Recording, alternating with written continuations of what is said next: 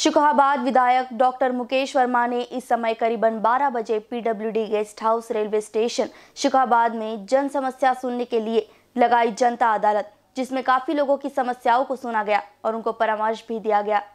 इसी बीच एक युवक अपनी समस्या को लेकर आया। उसने बताया, पड़ोसियों ने हमारे पाँच बच्चों को गायब करवा दिया है। इस समस्या को समझाने के लिए विधायक डॉक्टर मुकेश वर्मा ने अतिशीघ्र थाना एसएचओ को फ़ोन किया और समस्या का समाधान करने के लिए निर्देश दिया। ऐसे ही तमाम समस्याओं को शिकोहाबाद विधायक डॉक्टर मुकेश वर्मा ने अपनी अदालत लगाकर जन सुनवाई की और समस्याओं को सुलझाया। फिरोजाबाद से रिहान अली की रिपोर्ट। हमारे पाँच बच्चा और पत्नी को पड़ोसी ने हमारे गायब करवाया है विधायक जी के पास हम आए विधायक जी ने ऐसा साहब से बात करिए और पूरा वो सहयोग कर रहे हैं मतलब मतलब इनको सहयोग करे और मतलब पत्नी बच्चों को बरामद करे।